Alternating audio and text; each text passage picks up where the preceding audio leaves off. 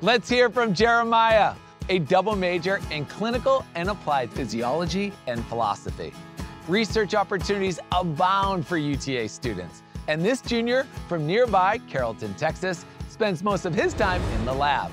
UTA is a top research university, both in Texas and nationwide, with opportunities for students to pursue answers to some of the world's greatest questions. Jeremiah, you are up.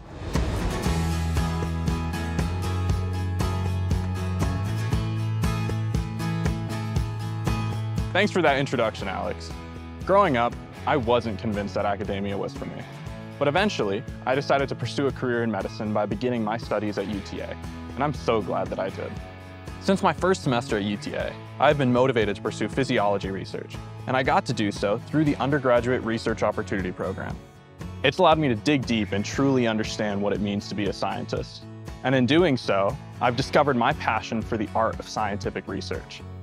I'm a true believer in the fact that UTA provides equal access to opportunities for people of all backgrounds, especially when it comes to research. My research mentors at UTA have played a crucial role in shaping my educational journey, providing invaluable guidance and support. Their mentorship deepened my understanding of research and fueled my passion for exploring new knowledge. UTA's abundant opportunities for undergraduates as a top research institution facilitated my transition from physiology to informatics research. At UTA, I've been amazed by unexpected opportunities that have exceeded my expectations. Engaging in research here has not only boosted my professional growth, but also imparted invaluable life lessons, allowing me to explore new horizons beyond the classroom. That's all from me here, Alex. Take it back.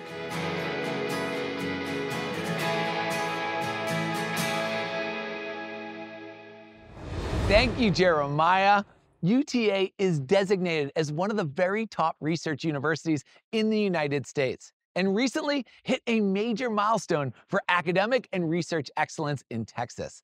It's one of the most diverse and impactful research institutions in the country, spending roughly $134 million on research expenditures every single year. Thanks for sharing your story, Jeremiah.